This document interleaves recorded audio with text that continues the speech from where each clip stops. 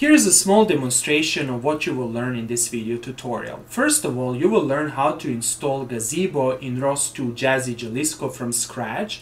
Then you will learn how to load this amazing simulation that represents a robot in a warehouse. You can see a robot over here with a lidar and you can see a big and realistic warehouse over here. Now, over here you can actually move the robot by pressing the keyboard keys. You can move the robot left, rotate it actually right, you can move it forward, backward, you can navigate the environment and move the robot inside of this environment. For example, if I want to go here, I will simply do this and then you can follow how your robot is moving in the environment. Truly amazing. Hello friends, subscribers and new viewers of this channel. In this ROS2 Jazzy Jalisco tutorial, we explain how to properly install Gazebo in ROS2 Jazzy Jalisco. So let's immediately start. First of all, I have to mention the following. ROS2 Jazzy Jalisco is the newest release of ROS2. It's released in May 2024. Consequently, sooner or later, you will have to migrate all of your projects from ROS2 Humble to ROS2 Jazzy Jalisco. And the end of life date or EOL of ROS2 Jazzy Jalisco is 2029. Consequently, that's five years from now.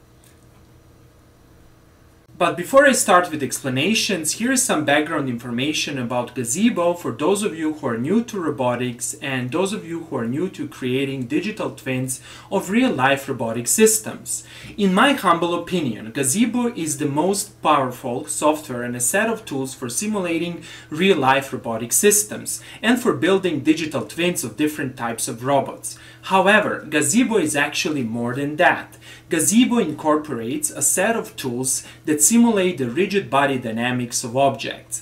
Consequently, Gazebo can be used to simulate not only robotic systems, but also physically realistic motion of real-life 3D objects and systems. It can, for example, predict collisions of objects and it can completely incorporate gravity effects.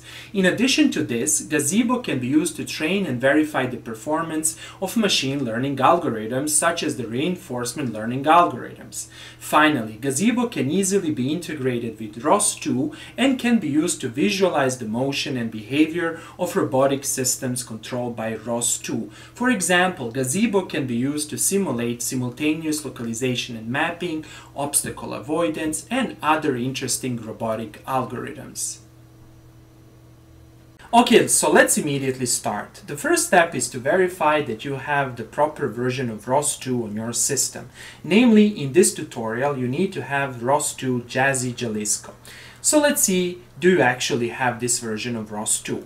Click here, then over here, type terminal and click on terminal. Then in this terminal window, first of all, do this. cd, go to this folder, and over here, type this lsla, and if you have ROS2 Jazzy Jalisco installed, you should see Jazzy.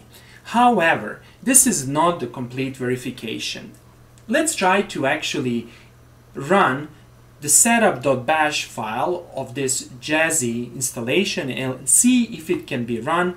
And if it can be run, then Jazzy is completely installed on your system. To do that, let's try to source this file. Source in this folder, opt ROS, then in Jazzy, and you need to try to source or execute this file. And if you can do that, you don't see the error, good. And as, as the final check, you need to do this, print this environment variable, ROS distro. And let's see. And if you see Jazzy, good. This means that Jazzy Jalisco is, is installed on your system and you can continue watching this video tutorial.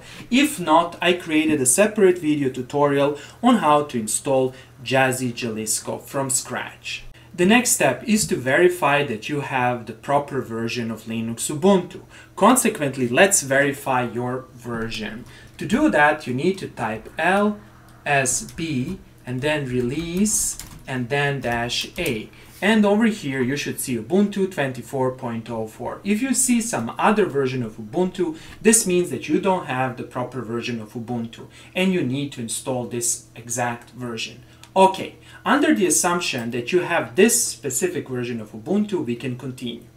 The next step is to install Gazebo. However, you cannot install any version of Gazebo. Namely, go to this website over here, then over here find this compatibility table. And let's see our ROS version. Here it is, ROS2 Jazzy.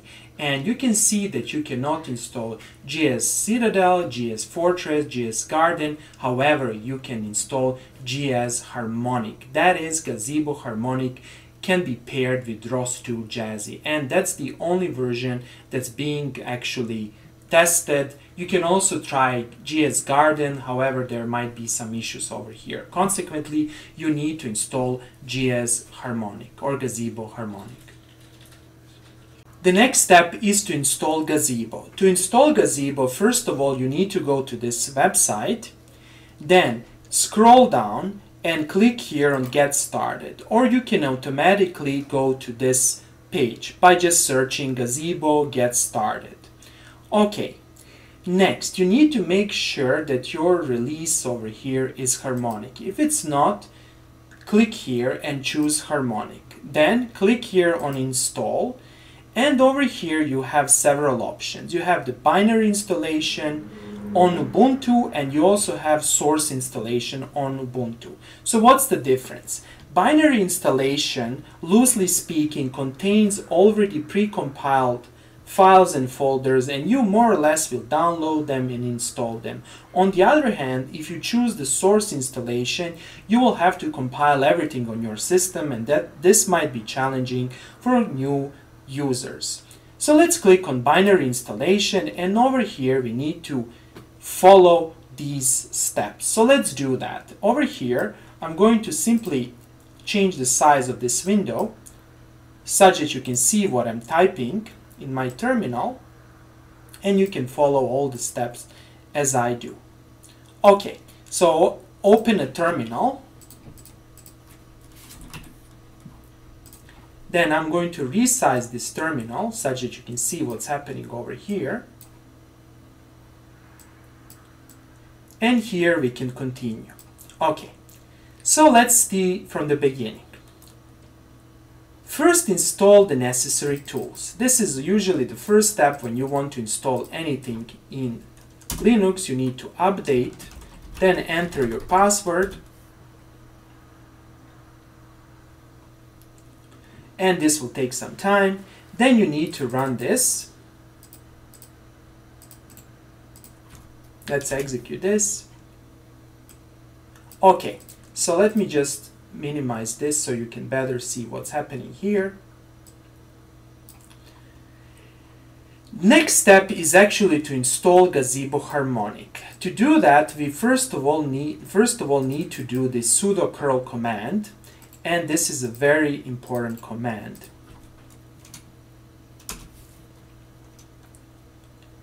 Okay, next you need to echo this to specific file Then you need to run update. This is always important before you install anything on Linux. And over here you need to run this command sudo apt get install gazebo harmonic. And here it is. And here you can see how much space you need. Click on yes, and that's it. Now you have to be patient over here since this will take some time. Okay, so the process is completed and hopefully we were able to properly install Gazebo. However, let's verify the installation. So completely close this terminal, open a new terminal and start from scratch. And let's do a few tests. Over here in this terminal, run this. This will start Gazebo simulation and it will execute this file called shapes.sdf. So run this and let's hope that everything is fine. Good. If you see something like this, this is good. Okay, so what is this? This is actually a real life simulation of one, two, three, four, five, six objects. So let's try to simulate these objects. Here you can click on different entities. So for example, if I click on box, it's a box. if I click on the ellipsoid, here is the ellipsoid. Now, if you run this, the simulation will run. And let's see what will happen. Now it will take some time for a simulation to start, and here it is. You see what happened? This object actually fall down. So let's now run it again. Of course, this simulation is already completed. However, you can do this, and you can reset the simulation and again run this and now observe what happens. Now you're in real time simulation and due to the instability and probably some initial perturbation this cylinder will fall down. Good. Next, let's close the simulation, yes, and let's go back to the terminal and let's now run Gazebo with this option dash v4. This will actually start Gazebo and this file in the debug mode so we can see what's happening behind the scene. And you can see all the things, right? You can see warnings, you might see some possible errors, etc. And it's very useful to understand what's happening over here. However, we are going to cover these things in our future video tutorials. However, let's go back to Gazebo and let's run the simulation again and let's see what is happening okay there's still some warning and something is happening however you can see that the simulation is running and there are no significant errors in this simulation good we can start gazebo without actually starting a particular simulation that is we can directly start gazebo graphics user interface to do that type g z and type sim and let's see what happens. Voila, here it is. Over here, you can select some of the tutorials. So let's select this very interesting tutorials and let's run it. You will see it's super nice. Now wait here since this will take some time. This is a real robotic simulation and wait. And after some time you will see this simulation environment. Now I'm going to expand this window and before I explain how to move this robot, let me explain how to pan, how to rotate and how to zoom the view. To pan the view, simply press the left mouse button and move the mouse left and right. Then to rotate the view, simply press the middle mouse button and move the mouse left or right and you can rotate the view. Then to zoom, you simply need to roll forward and backward your middle mouse button. Next, let's learn how to move this robot. To move this robot, first of all, you need to start the simulation. And once I start the simulation, you will see what happens over here. So click over here. Now the simulation is started. As you can see over here, we actually have a lidar that's constantly rotating and scanning the environment. That is, this model also has an incorporated lidar, which is super important. Now, to move the robot, move the slider all the way down, and over here you can see teleoperation. That is, you can use the keyboard keys to move the robot. Over here you can press and move the robot. However, I don't like that. I will click on keyboard over here and you can see how to move the robot. To move the robot forward, you need to press W on your keyboard to move the robot left, A, S back, D right, Q up, and E down. So let's move forward. I'm pressing now W, I'm moving forward. Let's move back. You see what happens? The robot is moving, amazing. Now let's rotate the robot, pressing A or pressing D. And now you can simply move the robot as you wish. Simple as this. This is awesome. This is actually real life simulation of your robot. And you can get a lot of things. You can get a point cloud, you can see all the topics, you can see actually everything. Now, to show you how you can see the topics, simply go back to the terminal, expand this window and type gz topic and list L.